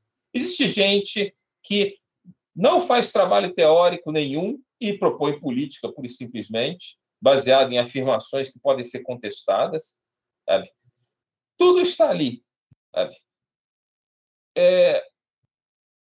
algum tempo atrás eu li um trabalho de um desses economistas muito críticos, em que ele fez um, um artigo assim muito, muito, muito sar, é, um sarcasmo muito grande, em que ele dizia que é, os econofísicos tinham que tomar muito cuidado com que, com que eles liam dos economistas. Porque na física, você conhece aquela famosa frase do Newton, né? Se eu vi mais longe é porque eu estava apoiado no ombro de gigantes, né? E ele, Newton, obviamente, se referia a pessoas como Kepler. Esse economista, né, Steve King, ele dizia que, no caso da economia, se tinha que tomar muito cuidado, porque você poderia estar apoiado no dedo dos pés de pigmeus. Ele, obviamente, quis ser muito sarcástico, mas é por aí. Então, a resposta à sua pergunta volta ao que eu falei logo no início. Tem de tudo. Sabe? Nesse meu livro, que eu fiz a propaganda, eu procurei é, tentar separar um pouco o joio do trigo. E deixar também claro que você não pode ignorar o que os economistas fizeram. Existe muita coisa muito interessante e muito importante feito por economistas. Sabe? O problema é o que, que é o que. Sabe? E aí não tem saída, você tem que estudar de forma crítica esses trabalhos. É, é que é bastante estranho quando o senhor fala né, que eles ignoram os dados, assim, isso é um negócio que me causou bastante incômodo, porque aí parece que eles estão fazendo as coisas no achismo, sendo que tá ali os dados e os dados podem, né, ser analisados. Eu Olha, achei não... isso bastante estranho. Não, é claro que é estranho, e também me estranhou muito. Mas não são todos, tá? Eu citei algumas pessoas importantes nesse sentido. Deixa eu te falar uma, uma coisa. Quando eu comecei esse trabalho com o, a análise da, da, distribuição de renda brasileira, que eu mostrei alguns resultados para vocês, né, com o nosso meu antigo falecido colega Newton, eu, obviamente, não queria é, reinventar a roda. Então, eu comecei a ler o trabalho de alguns economistas brasileiros que lidaram com essa questão da distribuição de renda. Alguns bastante famosos até, eu não vou citar aqui nomes que não fazem sentido. E rapidamente cheguei à conclusão de que aqueles trabalhos não, não me serviam.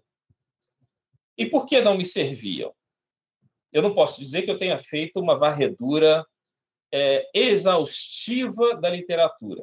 Não fiz. Eu peguei alguns trabalhos de pessoas que eram conhecidas por terem feito trabalhos nessa área, distribuição de renda.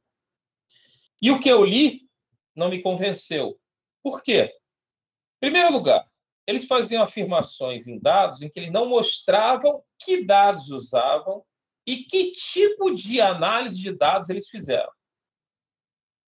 Segundo, eles partiam da premissa e iam procurar nos dados algo que desse reforço à sua premissa. Então, é justamente o caminho inverso que você faz. Se você olhar o trabalho, por exemplo, esse trabalho de 2008, né, 2009 com Newton, nós fizemos exatamente o contrário. Primeira coisa, dados. Os dados são esses. Depois, a redução dos dados. Fizemos isso, isso, isso, isso, isso. Quais são os gráficos? Esse, esse, esse, esse, esse. Agora nós vamos analisar. O que, que a gente pode tirar dali? Percebe? Então, é, existe um grupo realmente não desprezível de pessoas que faz isso que você está um pouco chocada e eu também fiquei chocado. Agora, existem outras pessoas que não fazem isso embora do que eu vi sejam ainda minoritários. Mas a crítica está chegando, sabe? E existe uma coisa que é muito curiosa, é que é, os economistas têm, por questão de formação, um certo respeito pelos físicos. Até porque a economia procurava ser tão objetiva quanto a física é. Então, quando os físicos criticam os economistas, mesmo quando eles ficam quietos, a crítica bate. Os debates existem. Então, eu estou sentindo uma mudança, sabe? Eu tenho me dedicado a essa área desde aproximadamente o que já tem alguma coisa como um pouco mais de uma década. Então, do que eu tenho visto ultimamente é cada vez mais uma tendência a abandonar essa crítica que eu coloquei. Se você observar bem, as é, citações que eu coloquei são de 15 anos atrás, tá? 10 anos atrás. Representa uma parte dos economistas de ainda hoje? Sim, mas eles estão mudando, sabe? Aos poucos, mas estão. Entendi. Achei que também pensando né, que a economia envolve seres humanos, como você falou, talvez de fato seja bem mais complexo né, a gente conseguir estudar né, como eles estudam. É, eu tenho mais uma dúvida só, e aí foi uma grande viagem assim que eu fiz quando. Mas teve uma hora que o senhor falou ali, tem, tem um gráfico que você fala ah, que podia ser modelado como os gases. E aí eu, eu fiquei pensando, né? É, eu já assisti algumas palestras e já ocorreu de ferramentas físicas, né, serem modelos e coisas serem usadas dentro de questões assim, por exemplo, até a questão da turbulência, eu sei que é um negócio que pode ser aplicado a a rua, a circulação de carro, né? É, Aí, no caso, seria mais uma pergunta, né, talvez filosófica do que científica, mas o senhor acha que tem alguma relação mais profunda é, entre, né, essa, você conseguir descrever coisas assim, entre aspas, tão diferentes, né? Você descrever um fluido e descrever circulação de carro, tipo, eu, eu, assim, na minha concepção, são coisas e objetos bem diferentes, né? Aí, e, né, e como o senhor falou ali, descrever um gás e descrever uma população, um, um negócio que rege a nossa humanidade, também são coisas muito diferentes, né? E a minha pergunta é se o senhor acha que talvez seja só coincidência ou se a física talvez consiga ter métodos que descrevem bem as coisas ou se pode ter alguma relação a mais, assim. É, só, é uma pergunta especulativa, mas eu queria fazer porque eu, eu entrou ficou ali, eu acho que eu deveria fazer. A sua pergunta é, é muito interessante e é muito importante, muito profunda. Existem, eu já conversei muito com economistas e eu já ouvi um argumento que, é, que já foi repetido por vários, não só brasileiros, tá? Ah, porque a economia é uma ciência social, então ela seria intrinsecamente diferente de uma ciência da natureza. A pergunta que eu coloco quando as pessoas fazem isso é: o que intrinsecamente torna uma ciência social distinta da ciência da natureza? Em geral, as pessoas ficam quietas com essa pergunta, porque elas acham que a questão é autoexplicativa e, na minha opinião, não explica nada. Ok, fundamentalmente diferente em que exatamente? Bom, eu posso te dar uma resposta, uma tentativa de resposta que eu vi de um historiador. Um historiador disse que a diferença fundamental das ciências sociais com a ciência da natureza decorre do fato de que na ciência da natureza o ser humano não afeta o fenômeno, enquanto que nas ciências sociais o ser humano afeta o fenômeno. Ou pode afetar o fenômeno. Essa, essa bom, pelo menos essa, essa resposta, essa explicação, ela tem o mérito de, pelo menos, oferecer uma explicação, mas, de novo, ela é insatisfatória. Por quê? Nós sabemos na física a partir do princípio da incerteza, de que o observador pode interferir, sim, no processo de observação. Então, eu posso dizer que essa interferência pode existir também da física. E se ela existe na física, então essa fundamental distinção já não é algo tão óbvio e tão claro entre as duas áreas. Esse é o primeiro aspecto. Agora eu avanço, eu, eu, eu coloco, eu avanço, eu proponho algo diferente. Eu acho que não existe distinção. O que existem são métodos distintos. Por exemplo, quando você vai trabalhar com distribuição de renda, você tem que utilizar métodos distintos. Repara, o trabalho do, do Pareto, do Gini e do Lorenz são todos trabalhos do século XIX, final do século XIX, início do século XX, estão aí até hoje. E são é, trabalhos fundamentais. Portanto, você tem que estabelecer como é uma ciência social, ela é diferente. Eu não chamaria ela de mais complexa.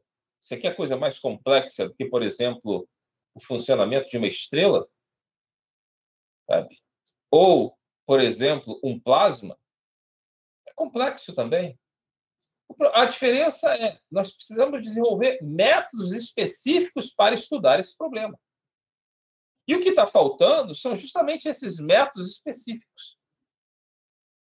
Repara o que eu apresentei para vocês aqui foi assim uma é, uma viagem muito superficial desses métodos específicos que estão sendo desenvolvidos para estudar problemas de ciências sociais. Eu não vejo nenhum problema em relação a isso e, portanto, não existe uma distinção clara agora entre uma ciência social e uma ciência é, da natureza. Eu estou utilizando métodos da ciência da natureza para estudar um fenômeno social e preciso o quê? Desenvolver métodos específicos para aquela ciência. O que acontece é que quando a pessoa parte do princípio que as coisas são fundamentalmente diferentes, ele meio que fecha o debate. Ah, então o físico não pode olhar para um problema econômico porque é, é fundamentalmente diferente. Não, pode sim.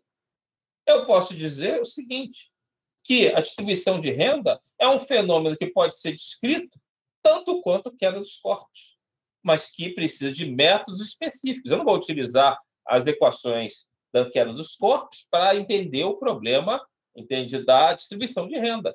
Eu vou ter que desenvolver métodos específicos para entender o problema da distribuição de renda. Veja bem, é assim que a física se desenvolveu. Você usou a mecânica newtoniana sabe? Até certo ponto. Mas quando você foi trabalhar com eletromagnetismo, o Maxwell desenvolveu o quê? As equações de Maxwell. Ela utilizou ideias ou se inspirou em questões newtonianas, lei de Coulomb. É uma lei do inverso do quadrado da distância também, da força. Mas não é exatamente a mesma coisa. Ele desenvolveu métodos distintos. Vem Einstein estabelece o quê? Método diferente para estudar é, fenômenos com velocidades próximas à da luz. Então, agora, se nós vamos trabalhar com distribuição de renda, ou então a, a dinâmica do mercado financeiro, nós precisamos o quê? Utilizar e desenvolver métodos específicos para cada um desses casos. E não simplesmente dizer, ah, porque é complexo ou porque é social, então você não pode trabalhar. Não, eu, particularmente, não aceito essa isso como uma resposta satisfatória ah, é muito complexo, então não vamos mexer com isso. Não, é exatamente esse é o desafio. Nenhum físico, sabe, vai parar de trabalhar com um problema porque é complexo. Imagina se o Einstein fizesse isso, se o Maxwell fizesse isso. O problema é complexo, então não vou mexer com ele. Não, vamos encarar o problema e vamos agora desenvolver os métodos específicos. E vamos acabar com esse mito, na minha opinião, e eu deixo claro, isso é a minha opinião, é um mito de que fenômenos sociais, de ciências sociais, são intrinsecamente distintos dos, dos fenômenos naturais e, portanto, não podem ser utilizados, não podem ser estudados. Podem sim. E os físicos estão mostrando que podem ser estudados sim. Você vê, tem físicos trabalhando com distribuição de renda, tem físicos trabalhando com questões de sociologia, a sociofísica. Podem sim. Tá? E de maneira bem sucedida. Os trabalhos, por exemplo, do, do colega Iglesias sobre crime e punição são muito interessantes em sociofísica. Os trabalhos, por exemplo, que eu citei aqui sobre distribuição de renda, o trabalho do Yakovenko é muito interessante. É, colocando mais a questão da teoria dos gases que você mencionou, o que o Yakovenko propôs foi algo muito interessante. Ele chegou e disse: bom, se a distribuição da maior parte da população é exponencial, eu posso dizer o seguinte: existe uma lei de conservação aí. Qual é a lei de conservação? A do dinheiro. Os economistas pularam. Não, isso é um absurdo. Por que você não pode falar em conservação de dinheiro? Porque isso não existe. Espera aí. Eu não estou falando em conservação do dinheiro para toda a eternidade. Eu estou falando de conservação do dinheiro por um intervalo de tempo, uma determinada janela de intervalo de tempo. Por que eu não posso falar dessa forma? Aí você coloca o problema sobre outro ângulo.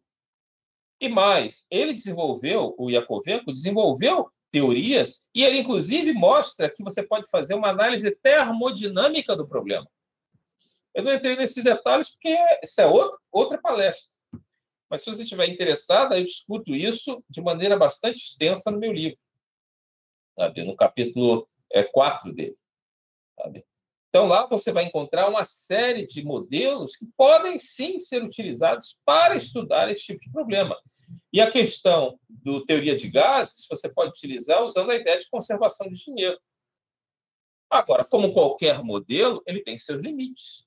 Mas o mais importante é justamente você conhecer os limites do modelo. Quando você estabelece os limites do modelo, é quando você conhece mais ainda e você tem mais aplicabilidade no modelo. Ninguém abandonou a teoria newtoniana quando se descobriu a teoria da relatividade especial. Pelo contrário, se viu o seguinte claramente que a teoria newtoniana funcionava com velocidades baixas em relação à velocidade da luz. Continuamos usando de maneira felizes, sabe? A teoria newtoniana dentro do quê? Da seu limite de validade. Espero ter respondido a sua pergunta. Legal. O meu professor, ele falou um negócio parecido de que o rolê da física a gente saber fazer aproximações e saber o, é o limite dessa, de onde essas aproximações são válidas. E achei bem no sentido do que o senhor falou, assim. É, ficou bem no bem parecida a afirmação, apesar dos contextos completamente diferentes. Exato. É, o, teve uma pessoa aqui que perguntou se o senhor tem alguma indicação de bibliografia. Olha, depende do que problema que você está querendo trabalhar. No caso da, da questão de mercado financeiro, saiu quase que simultaneamente ao meu livro, um livro também pela Cambridge University Press, do Jean-Philippe Bochat, sabe? Sobre a análise, ele, acho que é, chama-se a física do mercado financeiro, eu não me lembro bem, se, se o colega quiser, se quiser, pode mandar um e-mail para mim que eu respondo a, a, a referência é, precisa. No caso de distribuição de renda, eu posso indicar o meu próprio livro, porque eu fiz um estudo bastante extenso. Eu passei quatro anos nas, é, escrevendo esse livro. Ele deve ter alguma coisa como 300 referências tá? as mais diversas, sobre o problema da distribuição de renda. Então, eu indicaria o meu próprio trabalho. E lá, nesse meu próprio livro, eu indico outros livros também que foram estudados, particularmente os colegas do grupo de Kolkata, na Índia. Tá? Eles também publicaram livros nesse assunto. Eles estão citados lá dentro do meu livro, embora eles tenham publicado alguns anos atrás. Então, o livro mais recente que eu conheço sobre distribuição de renda é o meu que saiu ano passado, simplesmente pelo fato de ele ser mais novo. Tá? Estou fazendo propaganda aqui porque eu acho que é melhor, não. Isso aí, obviamente, é um critério do leitor. Mas você pode procurar, a partir dali, as referências que achar mais adequado. Eu, eu procurei ser bastante é, sistemático e bastante amplo nas referências. Tá? Então, eu indicaria esses dois livros: o meu, para distribuição de renda, para é, referências, e esse livro do Bochá na questão da física de mercado financeiro.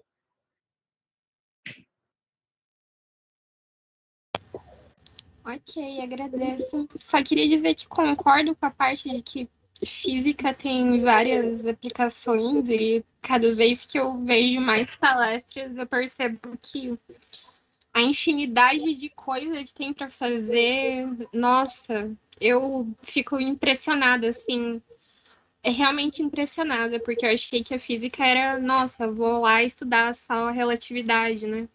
E me deparei com um leque enorme de opções, de áreas de pesquisa, de coisas a parte de ciências sociais também é um negócio que sempre me interessou, quase fiz graduação, mas aí resolvi para física.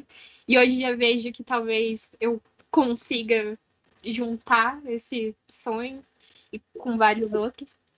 É, foi muito interessante essa palestra. Agradeço novamente é, pela sua. Não temos mais perguntas, né?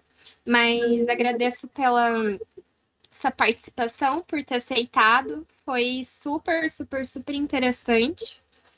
E vou ler mais um pouco sobre, achei bem legal a, a área. E é isso aí, gente. Nos encontramos no próximo seminário. E espero que tenha sido esclarecedor, como foi para mim. E é isso aí. Tá bom, obrigado, Carolina. Obrigado pelo convite. Foi ótimo falar para vocês, tá?